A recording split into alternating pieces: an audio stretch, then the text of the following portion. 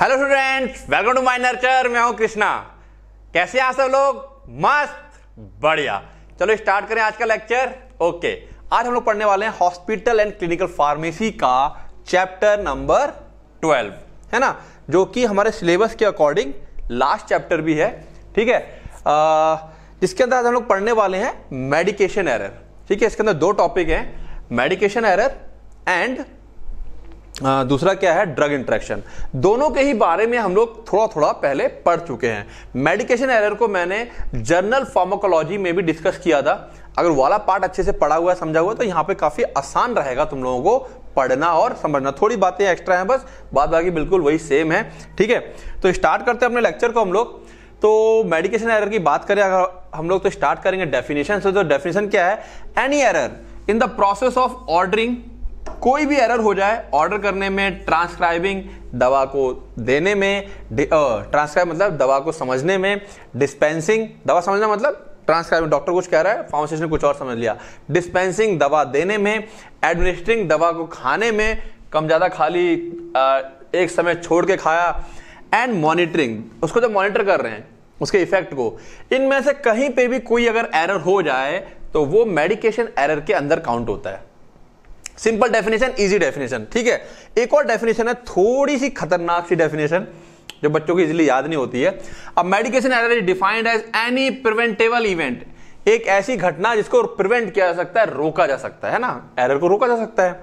Date may cause जो कि create कर सकती है और लीड और क्रिएट कर सकती है इन अप्रोप्रिएट मेडिकेशन यूज़ और पेशेंट हार्म या पेशेंट को हार्म हो सकता है मेडिकेशन का मेडिकेशन का इनअप्रोप्रिएट यूज़ हो सकता है while the medication is in the control of health care professional जबकि जो मेडिकेशन है, वो हेल्थ केयर प्रोफेशनल के कंट्रोल में है पेशेंट और कंज्यूमर के कंट्रोल में है. According to national coordinating council for medication error reporting and prevention इसके अकॉर्डिंग डेफिनेशन ये है कि एक any preventable event that may cause ऐसी कोई घटना जो नुकसान कर सकती है ठीक है? या कॉज कर सकती है पेशेंट को हार्म कर सकती है मेडिकेशन का अप्रोप्रिएट यूज़ कर सकती है, जबकि दवाइयाँ हेल्थ केयर प्रोफेशनल कंज्यूमर और पेशेंट के कंट्रोल में होती हैं, ठीक है? तो ये डेफिनेशन याद ना करो, ये ज़्यादा अच्छी भी है, समझने में भी मज़ा आता है इसको तो ऊपर याद कर लेंगे आप। Now medication error can occur throughout the medication use system यानी कि throughout the medication use system यानी कि डॉक्टर के दवा लिखने से लेकर के उसको पर्चा जाएगा, फार्मासिस्ट पढ़ेगा, समझेगा, दवाइयाँ देगा, पेशेंट खाएगा, वहाँ तक। यानी कि डॉक्टर के पर्चा लिखने से लेकर के मरीज़ की दवाई खाने तक, ये जो पूरा सिस्टम है, कहीं पर भी एरर हो सकता है। सच एस, कहाँ कहा जैसे कि प्रिस्क्राइबिंग अ ड्रग ड्रग को प्रिस्क्राइब करने में कोई डिज़ीज़ गलत समझ ली। Upon entering information into computer system जो पर्चे से कंप्यूटर में चढ़ा रहे हैं दवाई, कोई गलत दवा चढ़ा दी गलती से। कौन सी? लासा ड्रग्स जो होती हैं, जो सुनने में एक जैसी ड्रग्स होती हैं। When the drug is being prepare और डिस्पेंस जब दवा दी जा रही है, समझाई जा रही है, वितरित की जा रही है बांटी जा रही है पेशेंट को, और when the drug is given to और टेकन बाय पेशेंट या जिस समय पेशेंट को दवा खिलाई जा रही है, यानी कि हॉस्पिटल में, या पेशेंट खुद से ले रहा है अपने घर पे। ठीक है तो तमाम जगह है जहाँ पे एरर हो सकती है। कॉजेस क्या है? मेडिकेशन एरर के। तो यहाँ पर हम लोगों ने कुछ कॉजेस लिए हैं जो जनरली फार्मासिस्ट की तरफ़ से टू मैनी टेलीफोन कॉल्स ठीक है? अब देखा जो टेलीफोन कॉल्स फार्मासिस्ट की तरफ़ से, बहुत सारी कॉल्स आ रहे हैं, वो चीज़ों को कंफ्यूज कर रहा है। ओवरलोड ओवरलोड बहुत ज़्यादा हो गया। टू मैनी पेशेंट बहुत ज़्यादा पेशेंट हो गए। लैक ऑफ़ कंसेंट्रेशन कंसेंट्रेशन नहीं है जिस समय दवाइयाँ डिस्पेंस कर रहा है। No one available to double check double check करने के लिए कोई अवेलेबल नहीं है। एक बार दवाई दे दी तो दोबारा चेक करने के लिए दूसरा इंसान नहीं है। स्टाफ की शॉर्टेज है। सिमिलर ड्रग नेम एक जैसे नाम है दवाइयों के। No time to counsel patient को काउंसिल करने का समय नहीं क्योंकि जब काउंसिल करते तो कई बार पता चल जाता पता चल जाता है कि अरे, ये दवा तो इसकी मर्ज की है ही नहीं। ठीक है? इलेजिबल प्रिस्क्रिप्शन क्या कहते हैं? डॉक्टर की तरफ़ से जो राइटिंग लिखी गई है, वो प्रॉपर नहीं है। और misinterpretation misinterpreted prescription prescription जो लिखा गया, उसको मिस इंटरप्रिट गलत समझ लिया गया, गलत पढ़ लिया गया। तो ये कुछ कॉजेज हैं, तमाम कॉजेज और भी हैं, ये ज़्यादातर कहीं ना कहीं, ये जो कॉजेज हैं, ये फार्मासिस्ट की तरफ़ से आ रहे हैं। ठीक है? पेशेंट की तरफ़ से क्या होते हैं? उसने समय पर दवाई नहीं ली। डॉक्टर की तरफ़ से क्या आ रहे हैं? उसने दो दवाइयाँ लिखी हैं अलग अलग लेकिन उसका असर एक ही जैसा है। तो डबल हो गया वो। तो कई सारी कॉजेज हो सकते हैं। यहाँ पे एक जनरल मैंने कॉज दे दिया जो जनरली फार्मासिस्ट की तरफ़ से होते हैं, क्योंकि हम लोग फार्मेसी को पढ़ रहे हैं। Now types of medication error ठीक है prescribing error omission error wrong time error unauthorized drug error improper dose error wrong doses form error wrong drug preparation error wrong administration और technique error deteriorated drug error monitoring error compliance error other medication error अरे sir जी, रुक जाओ, रुक गया। ठीक है तो ये कितने हैं? बारह टाइप के, ऐसे ग्यारह टाइप के होते हैं। ये एक अदर टाइप के मेडिकेशन लिख दिया जाता है, उसमें कुछ और आती हैं। देखेंगे उसको। तो बारी बारी से इसको फटाफट देख लेते हैं। एक एक दो दो लाइन में डेफिनेशन बहुत ज़्यादा इन डेप्थ में नहीं जाना यहाँ पर। हमें हर एक का मीनिंग पता होना चाहिए। And this is the important question है ना? ये क्वेश्चन कैसा है? इंपॉर्टेंट है तो उसको अच्छे से करते हैं हम लोग। प्रिस्क्राइबिंग एरर क्या है? प्रिस्क्राइब प्रिस्क्राइब कौन करेगा? डॉक्टर डॉक्टर लिखता है पर्चे को। तो इनकरेक्ट ड्रग सिलेक्शन डॉक्टर ने गलती से जो दवा चूज़ करनी चाहिए बीमारी के लिए, वो दवा चूज़ ना करके कोई दूसरी दवा चूज़ करी है। फॉर्म टैबलेट कैप्सूल सिरप कौन सी डोज फॉर्म लेनी चाहिए थी, वो करेक्ट नहीं चूज़ करी है। कितनी क्वांटिटी या कौन सा रूट देना है कंसेंट्रेशन कितना देना है रेट ऑफ़ एडमिनिस्ट्रेशन और इंस्ट्रक्शंस बाय द फिजिशियन कुछ गलत हो गए हैं। तो ये सब प्रिस्क्राइबिंग एरर के अंदर आ जाते हैं। ठीक है omission error failure to administer the prescribe drug oblique dose to patient before next scheduled dose ठीक है, हुआ क्या? Failure to administer prescribe drug और dose to the patient before next schedule dose अगली जो खुराक थी, उससे पहले वाली जो खुराक थी, वो दी ही नहीं गई पेशेंट को, या भूल गया, जो भी कुछ हो गया। ओमिशन एरर ओमिशन मतलब हट जाना डिलीट हो गया। Now wrong time error deviation from the prescribing timing of an ordering drug order drug wrong time simple wrong गलत समय पे डॉक्टर ने कहा, सुबह शाम खाना। ठीक है, तुम दोपहर शाम खा रहे हो। डॉक्टर ने कहा, दिन में दोपहर में खाना है। तुम सुबह खा रहे हो। डॉक्टर ने कहा, खाली पेट खाना है। तुम खाना खाने के बाद खा रहे हो रॉन्ग टाइम ठीक है unauthorise drug error it take place when patient receives a medication without the prescriber's proper consent है ना? उसने प्रॉपर कंसेंट नहीं किया, बस अच्छा ये दवाई है फीवर में आती है काम, ठीक है खाली लेकिन हो सकता है वो दवाई के कुछ साइड इफ़ेक्ट भी हो। प्रॉपर कंसेंट नहीं किया है फार्मासिस्ट को या किसी डॉक्टर को और दवाइयाँ खा रहा है डेट इज़ अनऑथोराइज इसे हम सेल्फ मेडिकेशन भी कह सकते हैं। Improper dose form administration of dose that is greater overdose और less sub therapeutic than the amount prescribed जो अमाउंट दिया गया है 500 सौ एम बोला गया है, खा रहे हो 200 सौ एम या 200 सौ एम बोला गया है, खा रहे हो 500 सौ एम तो ये improper dose error dose proper नहीं है। कम ज़्यादा खा रहे हो या कम खा रहे हो? Wrong doses form error administration of drug product in different doses form from that prescribe मतलब कि डॉक्टर ने कहा टैबलेट खानी है, तुमने सिरप दे दिया। डॉक्टर ने कहा सिरप लेना है, तुमने टैबलेट दे दी। मतलब जिस रूप में कहा गया, डॉक्टर ने कहा इंजेक्शन लेना है, उसी चीज़ की मेडिसिन भी आती है। तो तुमने दवाई टैबलेट खा ली। तो जिस रूप में बोला गया है, उस रूप में दवाई ना देकर के दूसरे वाले रूप में ले लोगे तो दिक्कत होती है यस कोई इंजेक्शन लगना है, किसी का, मान लो, कोई एंटीबायोटिक इसका इंजेक्शन लगना है, उसका मेडिसिन भी आ रही है टैबलेट भी आ रहा है, ठीक है? पैरासीटामोल सिरप भी आता है पैरासीटामोल टैबलेट भी आती है। तो उनके इफेक्ट्स में देरी हो सकती है, ठीक है? प्लस उनके असर में कम ज़्यादा हो सकता है तो इसीलिए wrong doses form error dose जो बोली गई है जिस रूप में टैबलेट तो टैबलेट कैप्सूल तो कैप्सूल सिरप तो सिरप वही लेना है, दूसरा नहीं लेना है.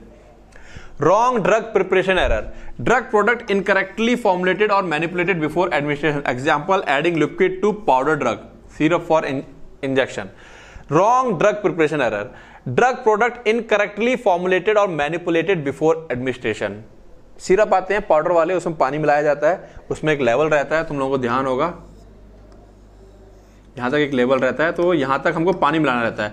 अगर पानी तुमने यहीं तक मिलाया, पानी यहाँ तक मिलाया तो क्या होगा, उसका कंसेंट्रेशन गड़बड़ हो जाएगा। इंजेक्शन लगना है पाँच एम का, उसके अंदर पाँच एम दस एम एल पाँच एम पानी मिला करके, घोल करके लगाया जाता है। तो वो क्या चीज़ें प्रॉपर फॉर्मुलेट नहीं हुई है इसका मतलब। उतने एम पानी के अंदर ही वो चीज़ बननी चाहिए। तो एग्ज़ाम्पल दे दिया adding liquid to powder drug syrup और इंजेक्शन हम लोग मिलाते हैं। तो वहाँ पे प्रॉपर उसकी मैन्युफैक्चरिंग नहीं मतलब प्रॉपर उसे बनाया नहीं गया। रॉन्ग एडमिनिस्ट्रेशन और technique error inappropriate procedure और improper technique in the administration of drug क्या टेक्निक गलत कर दिया? एग्ज़ाम्पल एडमिनिस्ट्रिंग एक्सेसिव डीप सब क्यूटेनिस इंजेक्शन सब क्यूटेनिस इंजेक्शन क्यूटेनिस में लगना चाहिए। क्यूटेनिस सब क्यूटेनिस के जस्ट नीचे, लेकिन उन्होंने बहुत गहरा लगा दिया। Instilling eye drop in the non affected eye आँख, जिसमें दिक्कत थी डॉक्टर ने कहा था, उसी में डालना, तुमने दोनों में डाल ली। तो ये क्या हो गया? रॉन्ग एडमिनिस्ट्रेशन और टेक्निक टेक्निक गलत हो गई।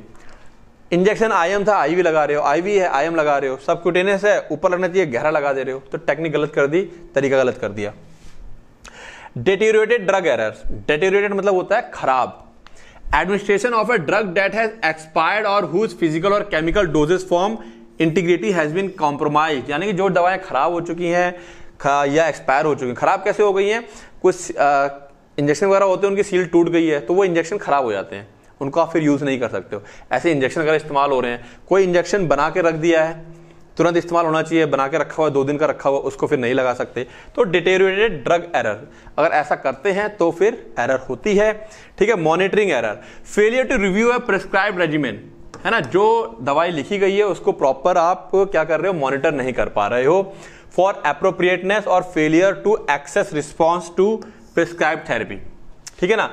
यानी कि कई बार जैसे तुमने देखा होगा, जो छोटा सा मैं एक उदाहरण लेता हूँ, किसी को अगर टीबी वगैरह है तो डॉक्टर के पास डॉक्टर उसे हर अपने 10-15 दिन बुलाता है। ठीक है? प्रॉपर उससे पूछता है कि हाँ अब कैसा है? सपोज़ किसी के लंग्स में पानी भरा हुआ है। ठीक है? तो डॉक्टर उसको लगातार चेक करने के लिए हर पंद्रहवें दिन बुलाएगा, आला से चेक करेगा, स्टेथोस्कोप से कि लंग्स में पानी तो नहीं भर रहा है, वगैरह वगैरह। तो मॉनिटर किया जा रहा है लगातार उसे। अगर वो मॉनिटरिंग में गड़बड़ी आ गई, कोई गलत मॉनिटरिंग हो गई, दवाई कम ज़्यादा हो गई तो एरर क्रिएट हो जाएगा। Compliance error. कॉम्प्लियंस का मतलब होता है कि जिस हिसाब से पेशेंट को बोला गया, दवाई खाना भैया, सुबह खाली पेट खाना, फिर नाश्ते के बाद खाना, फिर दोपहर खाना खाने के बाद खाना, शाम को खाली पेट खाना, फिर उसके बाद खाना। अब वो वैसा खा ही नहीं रहा। तो compliance error failure of the patient to adhere to the prescribe medication regiment regiment मतलब होता है, जो तरीका बताया गया है। ठीक है? तो जो मेडिकेशन रेजिमेन है, जिस तरीके से दवाइयाँ बताई गई हैं, उस हिसाब से अगर पेशेंट नहीं खाता है तो compliance error other medication error में क्या आता है, जो ऊपर की किसी कैटेगरी में ना गिरे, जैसे कि कैलकुलेशन एरर डॉक्टर कई बार कैलकुलेट हिसाब लगाता है। कि अच्छा इतने दिन हो गए दवाइयों के तो इतने दिन में अब यार डोज चलनी चाहिए अभी ऐसा होना चाहिए। वो कई बार क्या होता है, गड़बड़ हो जाता है तो कैलकुलेशन एरर तमाम इसके अंदर आते हैं। तो मेनली तुमको ग्यारह तक ध्यान रखना है बारवा एक ऐड कर सकते हो। तो एरर्स मतलब कोई भी ऐसी तरीका जो ऊपर हमने पढ़े हैं और याद होने चाहिए, ये इंपॉर्टेंट है, जिसकी वजह से पेशेंट को नुकसान होगा ही होगा। या तो ठीक नहीं होगा, या दवाई फिर लंबा इलाज खींचेगा। क्लियर होगी बातें? Now consequences of medication error अब क्या क्या इसके खतरनाक परिणाम। कॉन्सिक्वेंस मतलब परिणाम। क्या क्या परिणाम हो सकते हैं? गलत। उसके दवाई दिए जाने के, यानी कि मेडिकेशन एरर के। The range of consequences consequence परिणाम का एक बहुत बड़ी रेंज है। From medication error very from no notable effect ऐसा भी हो सकता है कि कोई दवा डॉक्टर ने गलत दवा दे दी, उसका कोई भी असर ना हुआ हो। या इवन डेथ गलत मेडिकेशन की वजह से कई बार डेथ तक हो जाती है। In some cases it can cause new condition कई बार एक नई बीमारी जनरेट हो जाती है गलत दवा की वजह से। रिएक्शन वगैरह हो गया। आइदर टेम्परेरी और परमानेंट, ये जो न्यू, नई कंडीशन हुई है, वो टेम्परेरी हो सकती है, परमानेंट हो सकती है सच एज इचिंग रैशेस और स्किन डिसफिगरमेंट स्किन खराब सी हो जाती है, अजीब सी हो जाती है, उसमें रैशेस पड़ जाते हैं फबोले से पड़ जाएँगे। तो ये इसका एक परिणाम है मेडिकेशन एरर का। दूसरा, सबसे खतरनाक the loss of a loved one is devastating अगर किसी इंसान का प्यारा, कोई इंसान मर जाता है और वो जितनों का प्यारा होता है तो सबसे बड़ा नुकसान तो यही होता है। तो देखो, ये पेशेंट को नुकसान चल रहे हैं, लेकिन अब जरा बात को समझना। कोई भी डॉक्टर ये नहीं चाहता है, कोई भी डॉक्टर ये नहीं चाहता है कि उसके पेशेंट को नुकसान हो, और अगर गलती से नुकसान हो गया है तो क्या डॉक्टर को बुरा नहीं लगता है? लगता है बेटा, अगर आप केस उठा के देखेंगे तो इवन नर्सेस और डॉक्टर्स वो भी गिल्ट में जीते हैं कई बार। देखो जरा डॉक्टर्स और नर्सेस हु इन एडवर्टेंटली मतलब जानकर नहीं, अनजाने में give the wrong medication to patient ऐसे डॉक्टर्स या नर्स जिन्होंने गलती से अनजाने में गलत मेडिकेशन दे दी है। और ठीक है, और एक्सपीरियंस अ नियर मिस या गलत मेडिकेशन देते देते रह गए। अचानक से माइंड क्लिक कर गया है नियर मिस एकदम बाल बाल बच गया यार, देने जा रहा था, मैं दे देता तो ये मर जाता। ठीक है near miss could suffer from shame guilt and self doubt वो गिल्ट से भर जाते हैं कि यार मैं तो जान बचाता हूँ, आज मेरी वजह से किसी की जान चली जाती। गिल्ट में भर जाते हैं, उनको अपने ऊपर डाउट होने लगता है, क्या मैं वाकई में हूँ इस लायक? अब सुनो this is refer to as the second victim इसको हम लोग कहते हैं सेकंड विक्टिम पहला विक्टिम तो पेशेंट होता ही होता है। This is the second victim अगर ऐसा कुछ हो जाए नर्स या डॉक्टर के दिमाग में तो वो भी एक तरह का विक्टिम हो गया। उसने जानबूझ के नहीं किया। ठीक है? And the effect of this syndrome can be life threatening और ये सेकंड विक्टिम होते हैं जिनको ये गिल्ट भर जाता है। इससे इससे भी जान जा सकती है। कैसे? देखते हैं। A senior nurse committed suicide real case है। कहाँ का वो मैं नहीं बता रहा हूँ। एक सीनियर नर्स थी। उसने सुसाइड कर लिया था after she overdose the fragile baby fragile मतलब एक नाजुक बेबी को उसने ओवरडोज दे दी थी। एक, ठीक है with ten times more calcium chloride calcium की ओवरडोज दस गुना ज़्यादा दे दी थी। उसकी डेथ हुई, उसके बाद इसने नर्स ने खुद सुसाइड कर लिया। इतना गिल्ट में आ गई थी। तो नुकसान पेशेंट का नहीं, नुकसान कई बार नर्स और डॉक्टर का भी होता है। तो ये कॉन्सिक्वेंस परिणाम होते हैं। द पेशेंट और patient family member may also pursue personal injury lawsuit lawsuit against the health care professional for negligence वो लोग केस कर सकते हैं नेग्लिजेंस का, ठीक है? जो पेशेंट फैमिली होगा, वो क्या करेगा? जो पर्सनल इंजरी हुई है उसके लिए कोर्ट चला जाएगा against the health care professional उस डॉक्टर या नर्स के खिलाफ। This can affect the health care professional career health care professional का कैरियर बर्बाद होगा इससे, ठीक है? उसका आगे नहीं बढ़ेगा and probability to revoke his और लाइसेंस और जहाँ तक है कोर्ट कई बार उसका लाइसेंस भी छीन लेता है। एक और नुकसान हुआ, ठीक है? पेशेंट और patient family member could also file a personal injury lawsuit ठीक है ना? कि मुझको नुकसान हुआ है, ऐसा केस कर सकती है। केवल हेल्थ केयर प्रोवाइडर पे on the health care provider यानी कि हॉस्पिटल पे भी कर सकती है but the health care institution where the यानी कि केवल डॉक्टर्स ही नहीं not just on the health care provider जिसने हेल्थ प्रोवाइड करवाई यानी डॉक्टर्स या नर्स उनके ऊपर ही नहीं, बल्कि health care institution where the health care provider is employed जहाँ पर हेल्थ केयर प्रोवाइडर यानी कि डॉक्टर नर्स काम कर रहे हैं, उस संस्था पे भी वो लोग केस कर सकते हैं। Legally hospital could face huge legal counsel and possible settlement cost तो कई सारे परिणाम है इसके। पेशेंट को लेकर तो परिणाम है ही हैं। दूसरे परिणाम भी होते हैं मेडिकेशन एरर के।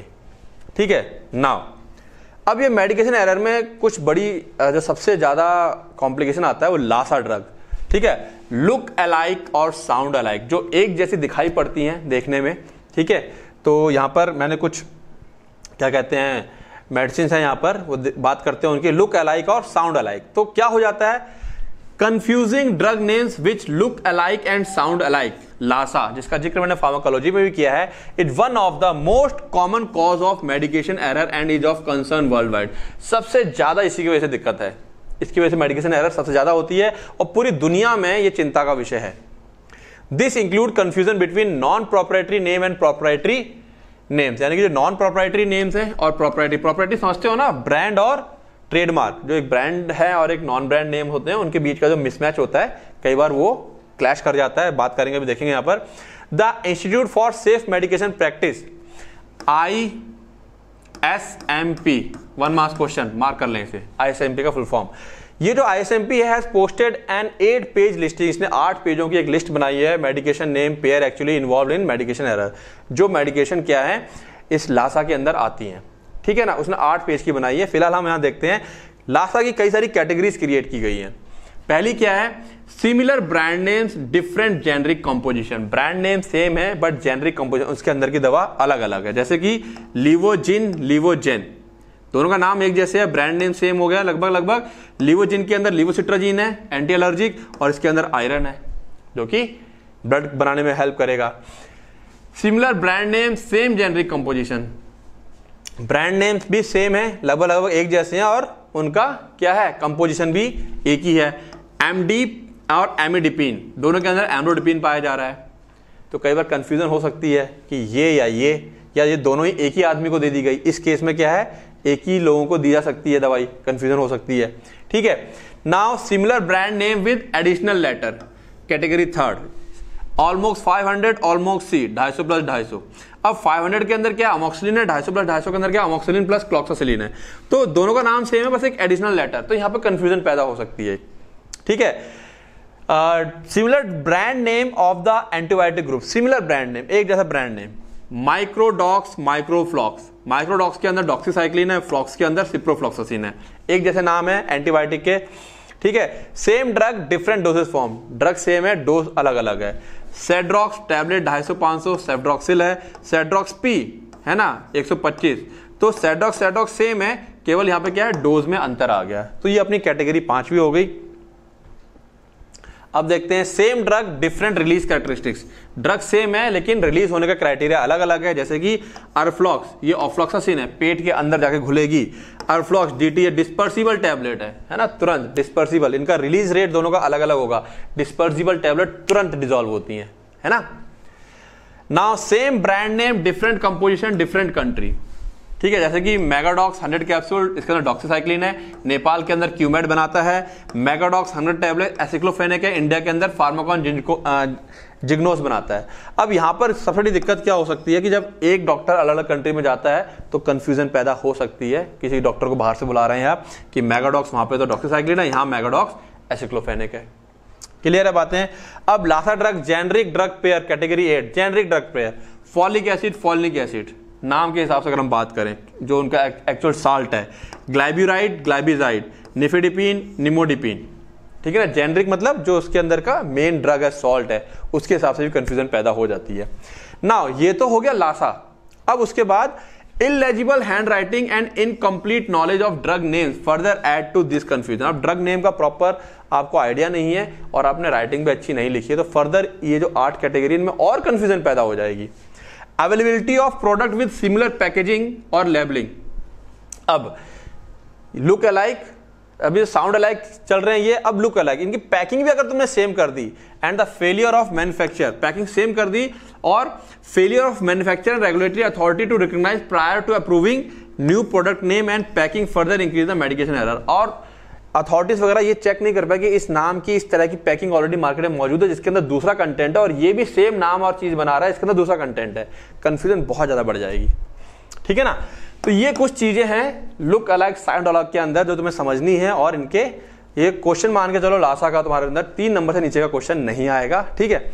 अब इस लासा से बचने के लिए, ठीक है tall man lettering tall man lettering का मतलब क्या हो गया? हम लोगों ने पूरे नाम को अलग अलग तोड़ा। कैसे? सिंपल सा समझा देता हूँ मैं, बहुत ज़्यादा नहीं है इसके अंदर। इस तरीके से। हम लोगों ने क्या किया? नाम को दो पार्ट में तोड़ दिया।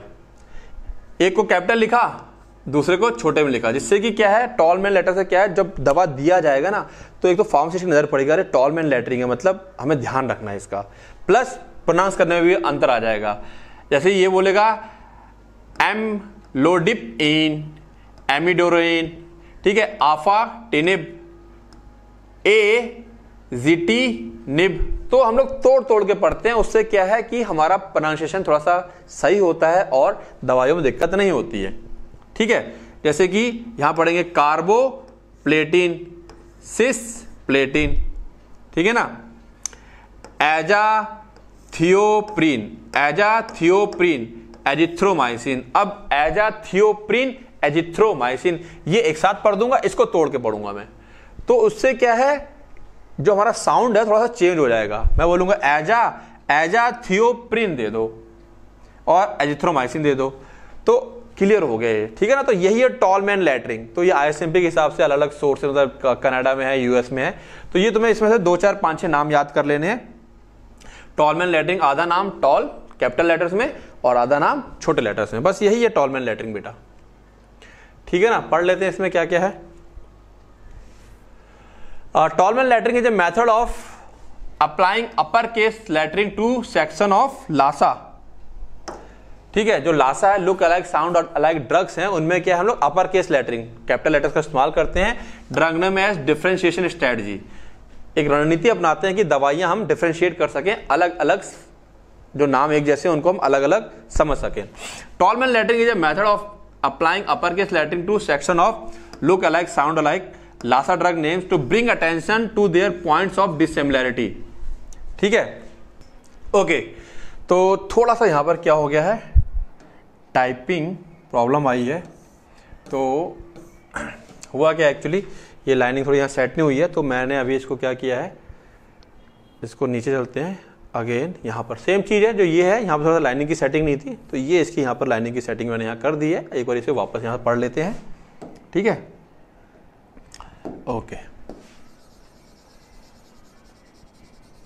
तो टॉलमेन लेटरिंग क्लियर तो हो ही गया। अब यहाँ पे कुछ पॉइंट देख ले, लिखना क्या तुम्हें यहाँ पर? टॉलमेन लेटरिंग क्या होता है? हमें बचना है लासा जो LASA look alike sound alike drugs जो होती है, किस तरीके से हम इनकी वजह से होने वाले मेडिकेशन एरर से बचेंगे तो उसमें सबसे बड़ा इफ़ेक्टिव काम कौन करता है? टॉल मैन लेटरिंग तो यहाँ पर क्या कह रहा है? बाय असेंचुएटिंग असेंचुएटिंग मतलब फोकस करना, ज़ोर देना द पॉइंट ऑफ़ डिफरेंस कि दोनों में क्या डिफरेंस है? है ना? वर्ड्स हम उस वर्ड्स को थोड़ा टॉल कर देंगे स्मॉल कर देंगे. The application of tall man lettering to a drug name में असिस्ट इन अलर्टिंग अब उसमें क्या जब लेटर्स कम छोटे बड़े होते हैं तो जो हेल्थ केयर प्रोवाइडर है, वो अलर्ट हो जाता है कि अच्छा ये टॉलमैन वाला है।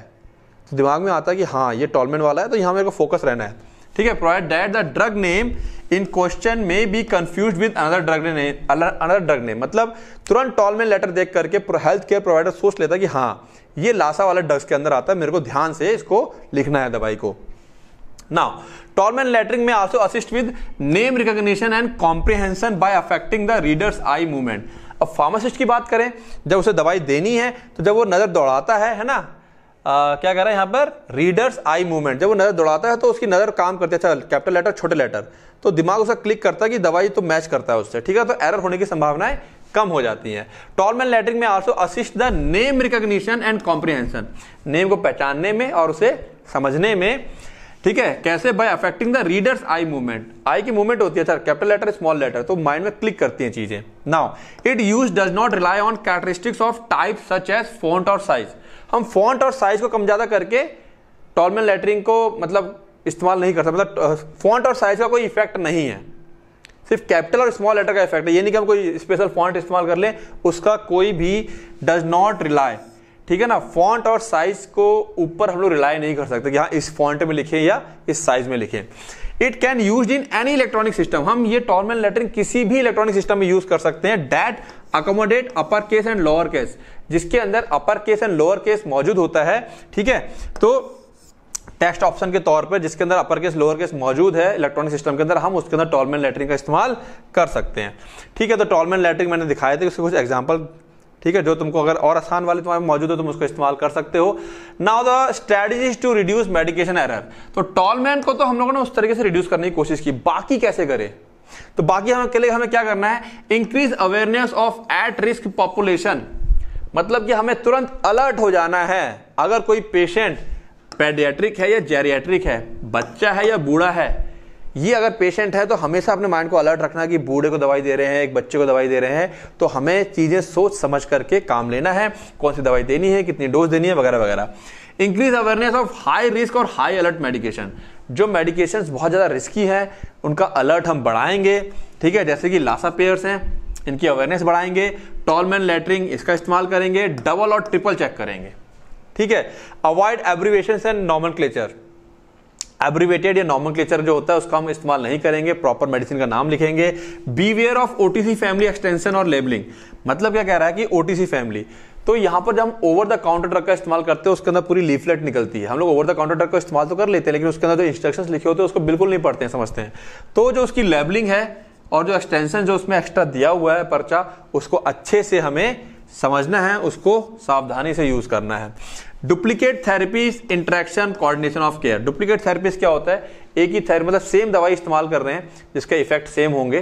ठीक है? थेरेपी मतलब एक ही थेरेपी पे डबल दवाइयों का इस्तेमाल हो रहा है, क्योंकि दवाइयाँ क्या है? मिलती जुलती सी हैं। या यूँ कह लो कि हमने एक दूसरी दवा दी किसी और चीज़ के लिए, एक और दवा दी किसी और चीज़ के लिए, लेकिन उन दोनों दवाओं का मिल करके एक काम पे एक असर हो रहा है। ठीक है ना?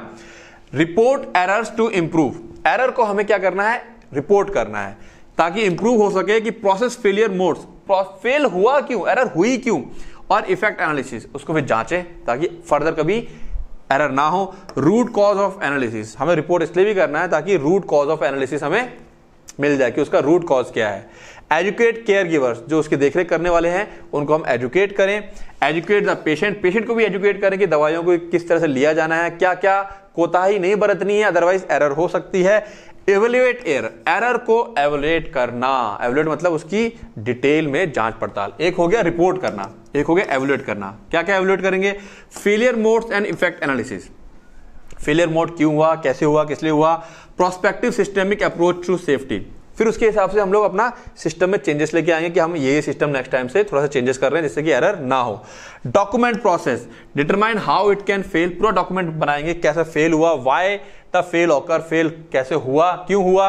Redesign the process to decrease failure पूरा जो सिस्टम था उसे रिडिजाइन करेंगे कि मेडिसिन के प्रिस्क्रिप्शन से लेकर के आ, मरीज़ के खाने तक उस सिस्टम को हम लोग क्या करेंगे? रीडिजाइन करेंगे कि नेक्स्ट टाइम वो मेडिक एरर ना हो।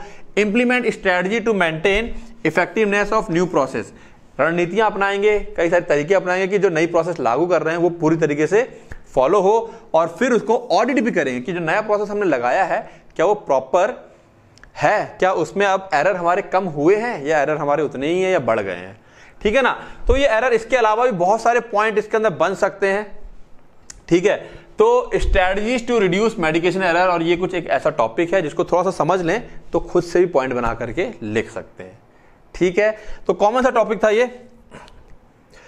ओके तो ये लेक्चर हमारा खत्म हो जाता है। बात समझ में आ रही है? नोट्स का लिंक डिस्क्रिप्शन में मिलेगा बेटा। रिवाइज करते रहो। पुराना जो पढ़ लिया है, उसको रिवाइज करते रहो, ठीक है? नया जो तुम लोग पढ़ रहे, पढ़ते जा रहे हो, उसको ऐड करते जाओ। ये नहीं कि हम नया पढ़ेंगे, पुराना नहीं पढ़ेंगे, या पुराना पढ़ रहे हैं तो नया नहीं पढ़ेंगे। ठीक है? तो रिवाइज करते रहो। नोट्स का लिंक डिस्क्रिप्शन में मिलेगा। ये मेरा मोबाइल नंबर है and this is the app okay इसका यूज़ कर सकते हो। अगर और ज़्यादा अच्छे से प्रैक्टिस करना चाहते हो तो बाद बाकी सारी चीज़ें आपके रिविज़न पर टिकी हुई हैं। पढ़ते रहो, रिवाइज करते रहो। All the best